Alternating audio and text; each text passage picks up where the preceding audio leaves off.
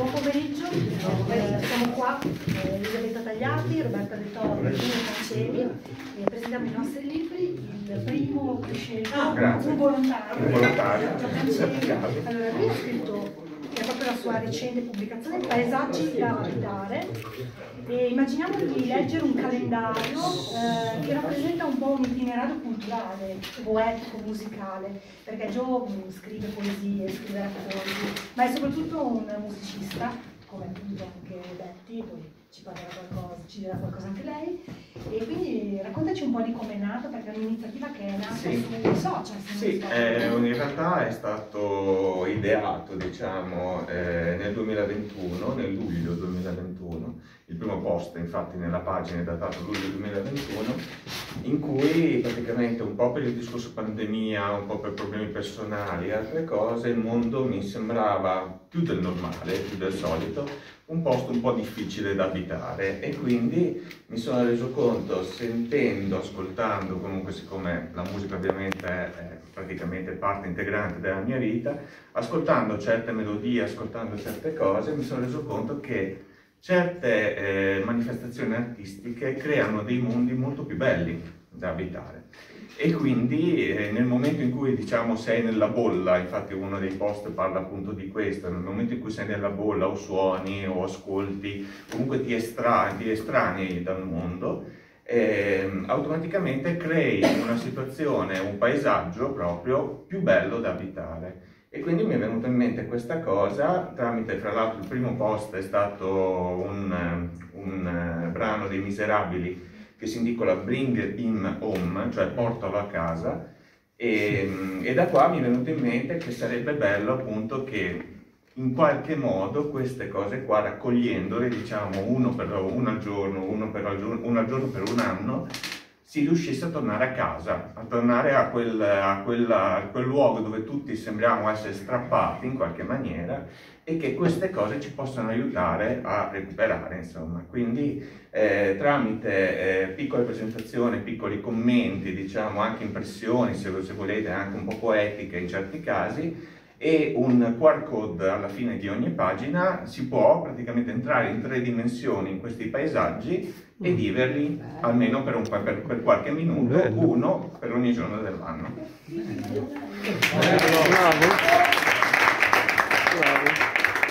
Vogliamo anche presentare Certo. Risonanze, che mh, appunto rappresenta un po' la tua prima Esatto, pubblicazione. sì. Eh, sono poesie e racconti, eh, in cui comunque la tua musicalità si Certo. sente fortemente, perché anche nella poesia sentiamo questa fluidità anche nella parola, tu assolutamente non hai inghippi con le parole perché comunque segui una tua ritmica interiore. E però nel frattempo segui anche una scansione interiore molto forte, tu Certo. comunque osservi il mondo intorno Certo. e lo fai tuo. Quindi Certo. insomma se vuoi parlarci un attimino. Sì, praticamente risonanze anche questo deriva da una suggestione poetica, nel senso che eh, in musica, appunto, se due note sono intonate, due corde, lo diceva anche Gibran, se due corde sono intonate nella stessa maniera, toccandone una risuona anche l'altra, vibra anche l'altra, proprio per un discorso di acustica. Quindi in questo caso risonanze sono quelle coincidenze, sono quelle brecce, diciamo, nel reale che ci spalancano, un po' come appunto i paesaggi, ci spalancano comunque ehm, delle, delle comunanze, delle, delle, delle situazioni che per simpatia insomma riconosciamo comuni, possono essere anche coincidenze. Infatti la quarta di copertina dice le risonanze sono l'autografo di Dio quando vuole rimanere in incognito. Sono quelle vibrazioni che si rincorrono fra loro che non sappiamo capire, ma che ci guidano l'anima quando meno ce lo aspettiamo. Sono le brecce in quella che chiamiamo realtà e che si affacciano su un mondo parallelo intriso di sensazioni di cui tutti abbiamo misteriose esperienze. Bellissimo. E diciamo che il primo racconto di questo, di questo libro si chiama Risonanze proprio perché il protagonista vive un'esperienza quasi extracorporale e ritrova in questo limbo, diciamo, un po' magico, delle cose che però accadranno subito dopo nel momento in cui ritorna, diciamo, ad essere vivo e reale nel mondo. Quindi l'idea è un po' quella. Le poesie diciamo che vivono di queste cose, i racconti per un certo, per un- per- sicuramente per un certo aspetto, Le poesie a maggior ragione perché tramite il sonoro, tramite la cadenza, tramite la rima, tramite comunque il fonosimbolismo delle parole e tutto il resto, sicuramente creano delle sensazioni al di là della letteratura, insomma. Questo è quanto. Aggiungo soltanto una cosa per quanto riguarda questo, eh, è stato comunque pubblicato in self e sotto diciamo, il marchio Anima, Mente Corpo di una autrice, eh, in, questo, in, questo, caso um, assente, ma che però ritroveremo eh, lunedì nella diretta con Scambievolmente, che si chiama Maria Teresa Rotola e che comunque appunto sta raggruppando diciamo, scrittori con tematiche, tematiche affini sotto questo marchio. Quindi ci ritroveremo eh, la... dopodomani.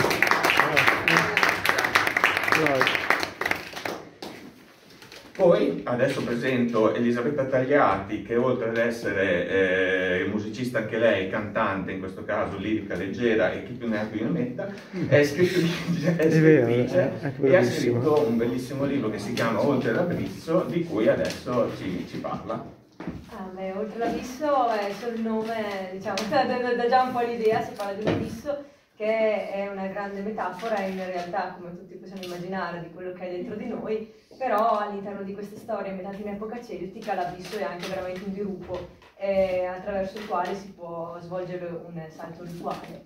Perciò eh, i miei personaggi mh, attraverso questa esperienza eh, varcano l'abisso, ma in realtà eh, ciò che succede è entrare sempre di più dentro se stessi. Perciò è un libro che eh, invita molto alla ricerca, al conosci te stesso, è ambientato in epoca celtica, ma a mio parere trascende abbastanza le epoche perché parla eh, di amore che non è mh, mm, amore tra due persone, ma è forse più che amore passione, ne parlavamo anche prima a tavola, infatti è proprio la, la prima frase del libro, vivere senza passione è come morire ma più lentamente, perciò è proprio un richiamo a, a vivere davvero e i miei personaggi non sono mai particolarmente buoni o perfetti proprio perché vivono davvero e perciò siamo fallaci. Eh, io amo scrivere dei libri che reputo ehm, scomodi, non, non, sconvenienti, però un po' sul, sull'orlo dell'abisso.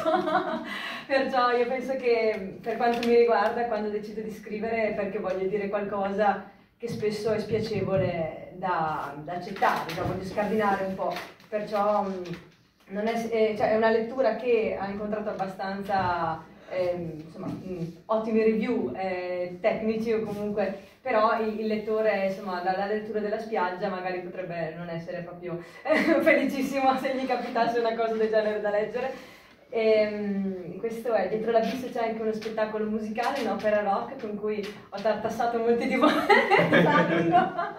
Perché penso che sia una delle chiamate della mia vita, solo che purtroppo come tante altre chiamate della mia vita non godo di tanta fortuna, però eh, insomma ci, ci, stiamo provando. E con Gio tra l'altro approfitto per dire che eh, suoniamo davvero insieme, abbiamo un duo, siamo attivissimi, ci chiamiamo I Cose Memories abbiamo vinto da premi di musica da camera fino a facciamo pop, in questo momento colonne sonore di film horror e, e se qualche autore ha bisogno di musica anche durante le proprie presentazioni, noi abbiamo una macchina, un pianoforte da mettere in macchina, un impianto voce e possiamo anche venire solo in veste di musicisti o artisti di, di qualsiasi genere perché ormai siamo abbastanza trasversali. Chiamiamo affettuosamente il pianosauro e il pianoforte perché è una roba che... È più appesa quanto però. Però, va bene. Però, va bene. Cristian, puoi organizzare un reading di lettura con... Eh sì. No, un piccolo, un piccolo appello su Oltre l'Abisso Opera Rock, e qui c'è il vice sindaco con noi di Vigoleno. Di Vincenzo. Comune di Vernasca. Scusa, il comune di Vernasca, no, mi chiamo Alberto. Tanto io ringrazio sono di essere presente a questa organizzazione che è nata un po' improvvisata, ma comunque sia abbiamo un po' sta, fatto sta riuscendo comunque molto bene, sta, sta, venendo molto bene. Complimenti a tutti, eh. lo dico in anticipo. No, un piccolo, piccolo solo da parte mia e Betty con l'opera rock tu sei, sei, sei pronta se, se, ci fosse qualche spazio teatrale, spazio per eventi. Vincenzo stesso è, è, un regista di teatro, scrittore di teatro quindi ci fosse qualche idea da qualche spazio, poi tutto il materiale da, da inviare siamo alle tra l'altro persone. molto, molto, trasversali in questo caso perché quest'estate siamo andati anche fino a Benevento, in quel caso con pianoforte e voce, perciò posso presentare il libro e lo spettacolo solo con la mia voce e compositore, ma tutto lo spettacolo prevede ovviamente dalla scena, musica dal vivo. Possiamo anche fare solo un concerto, un bel concerto rock di 25 pezzi inediti in italiano, abbiamo un eh, contratto discografico, presto uscirà il CD, perciò diciamo il progetto è ben delineato, e siamo in più di 10 se dobbiamo spostarci tutti, perciò è molto impegnativo e per quello abbiamo bisogno dell'aiuto del cielo. Messaggio, messaggio capito. Il contatto social? Sì, eh, giù, giù la chiavetta, ci sono dei biglietti da visita lì sopra il tavolo che vi posso lasciare tranquillamente. E, Per i curiosi c'è una pendrive con i pezzi del- dell'opera rock, quindi curiosi... Fanno anche musica storica, eh. Eh, appunto, ma anche che Fanno- considerato l'ambientazione fanno musica- abbiamo, buono a sapersi. Vai. Eh, no, eh, no, è. Vado, passo velocissimamente su Dissidenti che Sono veramente bravi. posso riconoscere Christian tra l'altro, Eh, grazie tra l'altro a, a, a Che, che- che salutiamo tantissimo, che, che è meravigliosa, questo spero sarà con noi. E ne approfitto anche per salutare Stefano Spagocci che invece è un super mega esperto di Celti e con il quale abbiamo fatto anche delle conferenze, appunto io parlavo della parte più, più immaginifica, lui invece stava proprio sul pezzo e anche lui avrebbe voluto essere qua ma oggi è impegnato in un altro evento super celtico perciò insomma, eh, l'anima l'ha chiamato là. Eh, questo libro invece Incidenti scritto in periodo di pandemia è un romanzo distopico ehm, mentre l'altro è romanzo diciamo fantasy io ufficialmente dichiaro onirico perché è la trascrizione di un sogno durato due mesi. Perciò tutti questi eh, simbolismi eccetera parte anche del titolo eh, a mio parere insomma sono molto legati al mondo onirico e parlano un linguaggio appunto un po' diverso da quello del fantasy. I Dissidenti è un eh, appunto un romanzo distopico invece. È un romanzo abbastanza arrabbiato e critica abbastanza il sistema e la didattica della musica e tutto quello che riguarda la- il, il mondo insomma de- dell'arte di questi tempi perché la bellezza eh, insomma credo che molti di noi siamo sensibili all'argomento è particolarmente screditata e purtroppo non, non gode di molta fortuna ultimamente. Perciò è diciamo in questo libro ci sono un po' di invettive, un po', di, eh, un, po un richiamo anche agli artisti a dire unitevi sotto una bandiera per reclamare il diritto della bellezza che tutti hanno, non solo le persone che hanno la fortuna magari di sentirlo già, perché penso che per tutti sarebbe un miglioramento, insomma, come paesaggi, o come, come tante altre cose, insomma, eh, il contatto con l'arte è qualcosa che serve a noi e a, a chi eh, an- se non ce l'ha o se per sfortuna non, ha- non è stato ancora toccato da, questo, eh, da questa fiamma, eh, chi ne è toccato secondo me ha il dovere morale di farlo, perciò in periodo di pandemia a maggior ragione avevamo tutti le ali un po' tarpate e mm, la volontà era proprio di dire no, non lasciamoci insomma chiudere, troviamo una soluzione, troviamo un modo di, di combattere, perciò molto combattivo. Ora passo a, a Roberta De Tomi che è veramente una bomba, infatti è difficilissimo per me presentarla e lo faccio tra l'altro molto con grande onore perché lei è una scrittrice, cioè, secondo me insomma vera, eh, lei lo fa di professione, è una ghostwriter, tra l'altro ha un blog da moltissimo tempo, perciò ehm, sì, anche media partner tipo di CSU, insomma è, è veramente inserita nel mondo della scrittura e, e in tutto insomma il mondo letterario a 360 gradi, ti occupi anche, ti sei occupata anche di sceneggiature, tra l'altro ha mm, fatto dei percorsi anche, mm, lei stessa insegna scrittura o comunque scrittura creativa, però lei stessa ha seguito corsi anche di un certo livello eh, che secondo me insomma le hanno dato una professionalità e una capacità di approcciarsi veramente a ogni genere, cioè perché qui vedete due libri, ma in realtà cioè, avesse portato tutto saremmo arrivati con altro che valigie, perciò è difficilissimo presentarti perché c'è, un mondo insomma dietro di lei. E mm, scrive anche su commissione appunto, perciò ehm, oltre magari a noi che diciamo che scriviamo per la scintilla, lei no, cioè riesce veramente a sviscerare qualcosa anche cioè, su richiesta e molto spesso arriva veramente al punto. Eh, io l'ho conosciuta con due libri che sono due riletture di, di- di favole del passato, Alice nel Paese delle Meraviglie che non è qui, e questo che invece è nuovo uscito, che è la rilettura della Sirenetta in chiave, in chiave moderna, poi dopo entrerai insomma in urban fantasy, Alice, tra l'altro ambientato in Italia, che cioè, bellissimo, Senigallia. E, ehm, tra l'altro Roberta, con curiosità un po' rispetto a tutti noi, anche lei è molto legata al mondo della musica, nel senso che i suoi libri raramente non hanno delle citazioni delle canzoni, dei, dei testi, delle... anche Alissa per esempio è piena di, di, canzoni, di melodie, perciò in un certo senso cioè, ci siamo, insomma, risuoniamo tre abbastanza su questa, su questa cosa. Hai conto anche Trappola d'Ardese che invece per esempio è tutt'altro genere, tra l'altro eh, Saga Edizioni, perciò comunque lei lavora con tanti editori diversi, insomma poi adesso ci direi tu nel dettaglio. Allora, parto con Alissa, che è un progetto che avrei voluto sempre scrivere, perché innanzitutto io amo tantissimo le fiabe e il mio primo retelling è stato appunto Alice nel labirinto, o meglio il seguito di Alice nelle Paese Meraviglie, che mi ha portato anche a studiare la figura di Carol e um, a scrivere dei saggi in lingua inglese dedicati proprio a questo autore, che è un grandissimo autore, un po' sottovalutato, e vi dirò di più, eh, Alice nelle Paese Meraviglie, lo conoscevo tantissimo per le versioni disneyane, ma in realtà non è stato letto così tanto mm. ed è poco conosciuto e direi anche poco capito. Carol è stato però un grandissimo influencer, adesso mi sono un attimo soffermata sul libro che non c'è perché è stato un il punto di partenza di questo percorso dedicato alle fiabe eh, a partire proprio dalla mia grande passione. Io ho uno zelibraio, uno zelibraio che ovviamente da piccola mi riempiva di regali e mi ha proprio appassionata perché anche lui voleva scrivere, però poi è finito a vendere i libri, comunque sempre una grande passione ed è diciamo un, un bel onere, un bel onore vendere libri e sappiamo tutti con anche il discorso indipendente quanto è difficile insomma, approdare a nuovi lidi o comunque creare delle alternative. Però ci vuole coraggio, ci vuole anche coraggio a proporre delle cose nuove un po' oltre il mainstream.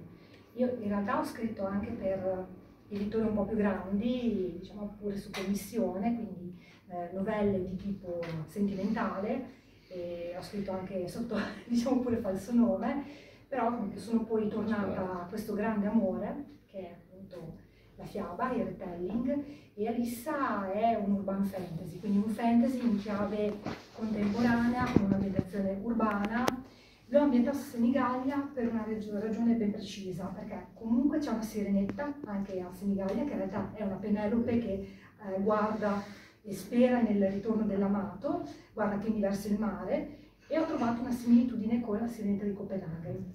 Eh, ho amato molto Senigallia, infatti quando sono stata in vacanza mi è un po' scattata la scintilla.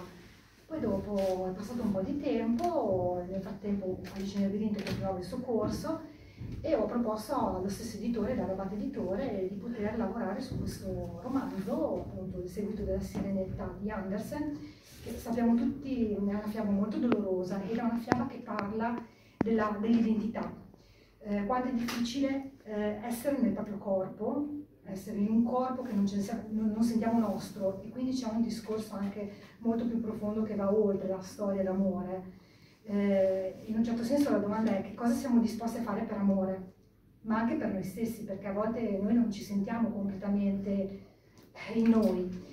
E quindi questo romanzo ha l'aspetto appunto eh, dell'avventura, c'è la parte romantica, c'è una continuazione della storia, c'è anche un, contesto sociale eh, che interessa i giovanissimi, perché comunque i protagonisti sono adolescenti, però c'è anche eh, quella serie di domande che ci poniamo inevitabilmente come persone, come esseri umani che alla fine eh, quando ci guardiamo allo specchio ci facciamo appunto un po' le nostre, diciamo pure pare, no? cominciamo a dire ma sono io, sono io un po' il dilemma shakespeariano, a volte ci chiediamo chi siamo, se siamo veramente giusti e quindi si apre un po' al discorso dell'introspezione.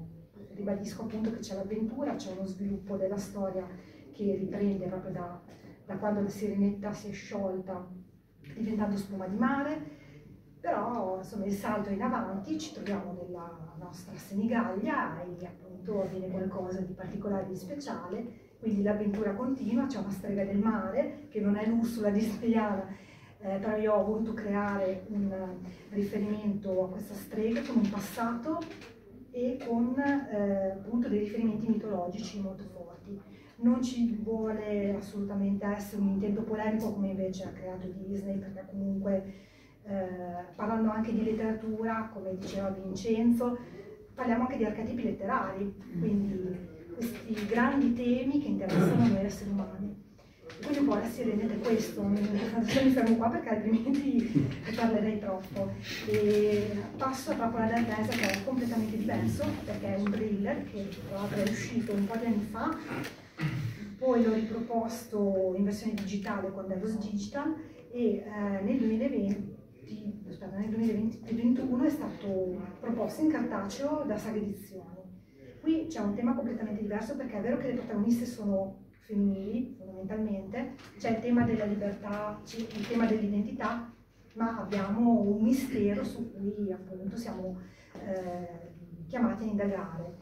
E la mia grande ispirazione è stata David Lynch, e infatti ho scritto questo romanzo in parte ascoltando la colonna sonora di Twin Peaks.